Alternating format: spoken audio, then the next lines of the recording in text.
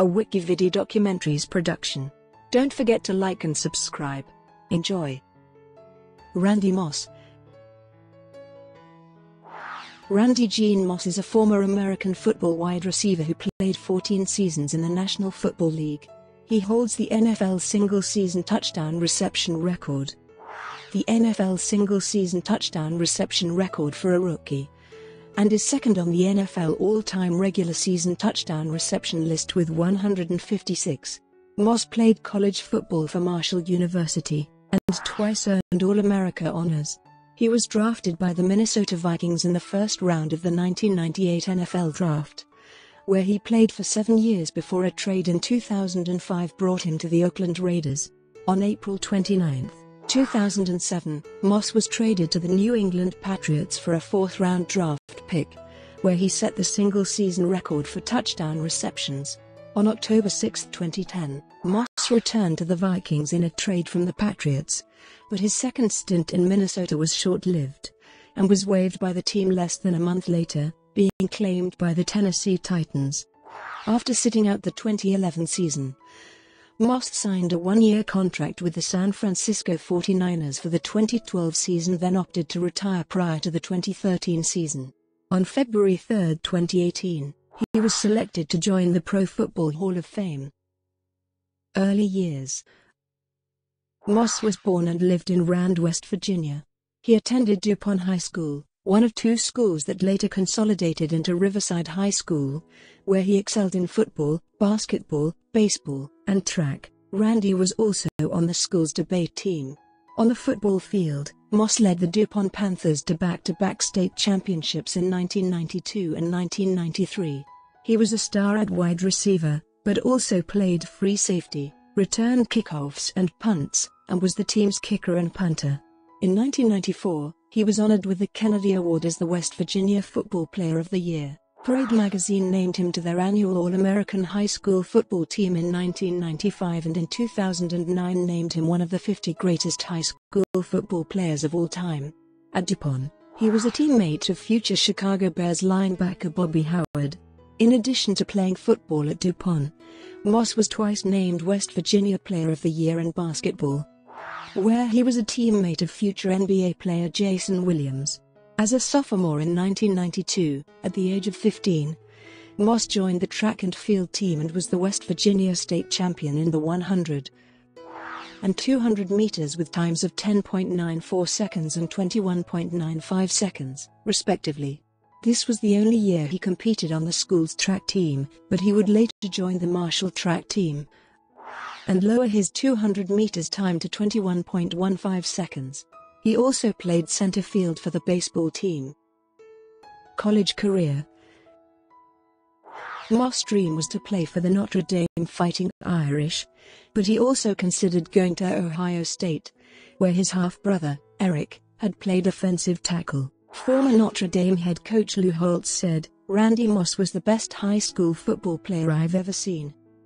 Florida State head coach Bobby Bowden said, he was as good as Deion Sanders, Deion's my measuring stick for athletic ability, and this kid was just a bigger Deion.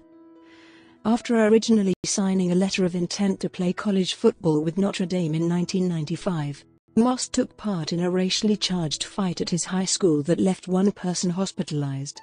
On March 23, 1995, Moss had backed a friend in a hallway fight against a white student who had allegedly used racist comments towards Randy's friend.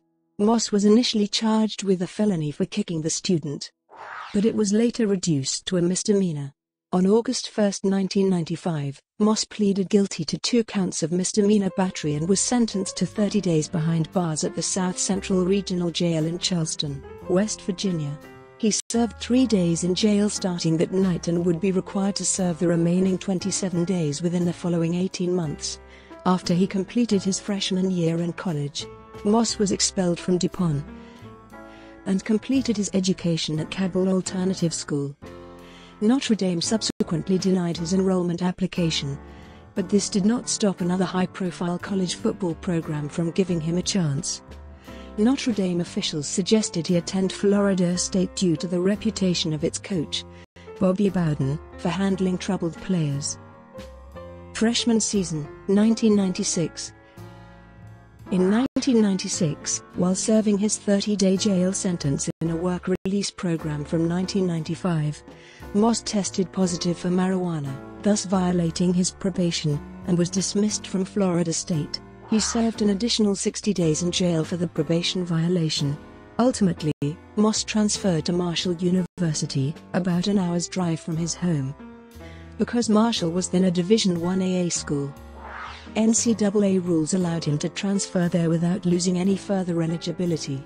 In 1996, he set the NCAA Division I AA records for the most games with a touchdown catch in a season, most consecutive games with a touchdown catch, most touchdown passes caught in a season, and most receiving yards gained by a freshman in a season, a record which still stands. Moss was also the leading kickoff returner in Division I AA on the season, with 612 total yards and a 34.0 yard average, Marshall went undefeated and won the Division 1AA title in its last season before moving to Division 1A. At the Southern Conference Indoor Track Championships, he ran the 200 meters in 21.15 seconds, missing the conference record by only 0.02 seconds. Despite the fact that he did not race competitively for four years, his time of 21.15 seconds was one of the best in the country that year. Sophomore season, 1997. In the 1997 season, Marshall's first in Division 1A, Moss and quarterback Chad Pennington were the centerpiece of an explosive offense that led the Thundering Herd to the Mid-American Conference title. Moss caught 26 touchdown passes that season, at the time a Division I record, and was a first-team All-American. The first game of the season was at West Virginia University where Marshall lost. The second game of the season saw Moss pick up right where he left off in 1996. Facing Army, Moss caught five balls for 186 yards and two touchdowns. One touchdown went for 79 yards in which Pennington lobbed the ball down the left sideline. Moss leapt over an Army defender to snag the ball out to the air at the 40-yard line while the safety crashed into his teammate, knocking both men down. Moss galloped the last 50 yards untouched for the score. The other touchdown reception was his career long of 90 yards that came on a short screen pass on third down. Moss caught the ball on the right side of the field at his own 8-yard line, ran past three defenders in the middle of the field at the 15-yard line, hurdled two defenders coming from both sides of the left hash marks at the 25-yard line, then raced past the last defender at the 50-yard line before finally seeing daylight down the left sideline. A week later, Moss posted his third career 200-yard receiving game, against Kent State. Two weeks after that was his fourth and final 200-yard game in college, recording 13 catches for 205 yards and a Marshall single game record of five touchdown receptions against Ball State. In the 1997 Ford Motor City Bowl against Ole Miss, Moss added his 26th touchdown of the season on Marshall's first offensive play from scrimmage. He streaked down the right sideline and caught an 80-yard touchdown pass from Pennington to tie the score at 7-7. NCAA rules at the time did not allow for statistics from bowl games to be combined with regular season stats, so the touchdown did not officially increase his season touchdown record. The two teams traded the lead several times in the fourth quarter before Ole Miss running back Deuce McAllister scored on a one-yard touchdown run with 31 seconds to play, giving them a 34-31 lead. Trying to pull out a last-second win, Pennington connected with Moss on a 40-yard pass on the final play of the game, but he was stripped of the ball as time expired. Moss finished the game with six receptions for 173 yards. Moss finished his career at Marshall having scored at least one touchdown in all 28 games that he played. He won the Fred Biletnikoff Award as the nation's leading wide receiver and was a finalist for the 1997 Heisman Trophy. 1998 NFL Draft During the 1998 NFL Draft, Moss, who was projected as a high first-round pick, was taken by the Minnesota Vikings with the 21st overall pick after a number of NFL clubs, even those in need of a WR, were concerned with Moss' well-documented legal problems. Before the draft Moss was quoted as saying teams that passed on him will regret it once they see what kind of a player I am and what kind of guy I really am. The team most often cited for passing on Moss is the Dallas Cowboys. Moss grew up a Cowboys fan and wanted to play for the Cowboys. The Cowboys wanted Moss, but, because of many off-field incidents of their own, team owner and GM Jerry Jones did not feel the team could draft Moss. Moss felt that the Cowboys lied to him, because they had told him they would draft him. On draft day, Dallas went so far as to have a scout in Charleston, West Virginia, the same town where Moss and his mother were watching the draft. Dallas star receiver Michael Irvin even called to apologize to Moss. Because Irvin's own off-field problems were a main reason Moss was not drafted by Dallas. After the draft, Moss made a point of beating the Cowboys any time he faced them, getting his first opportunity to do so in Week 13 of his rookie season. In a game held at Texas Stadium, Moss torched Dallas with a 163-yard, three-touchdown performance. After the draft, Moss signed a four-year, $4.5 million contract that included an additional $4 million in bonuses and incentives. As part of the deal, he received a $2 million signing bonus. Moss originally wore eight in training camp, but switched to the more conventional four before the preseason began. 1998 season In 1998, Moss helped the Vikings to become the number one rated offense ever at the time, setting the single-season record for scoring with 556 points. The Vikings opened the season with a 31-7 rout against the Tampa Bay Buccaneers. Moss' first NFL game would also be his first multi-touchdown game as he recorded four receptions for 95 yards and two touchdowns. His first NFL reception came on the third play of the game on an 11-yard pass from Brad Johnson. His first touchdown was a 48-yard acrobatic grab over defensive back Floyd Young late in the first quarter, in which Moss juggled the ball three times before securing it for the score. He added a 31-yard touchdown reception on the Vikings' first possession of the second quarter to give the Vikings a 21-0 lead. His first Monday Night Football game came in Week 5 against the Green Bay Packers at Lambeau Field. He had five receptions for 190 yards and two touchdowns, including touchdown grabs of 52 yards and 44 yards, and two other receptions of 46 yards and 41 yards. He also had a 75-yard touchdown catch on the Vikings' first possession of the game that was nullified due to an offensive holding penalty. They finished with a 15-1 record, and were poised to represent the NFC in Super Bowl 33. However, the Atlanta Falcons stunned the Vikings by winning the NFC Championship game 30-27 in overtime.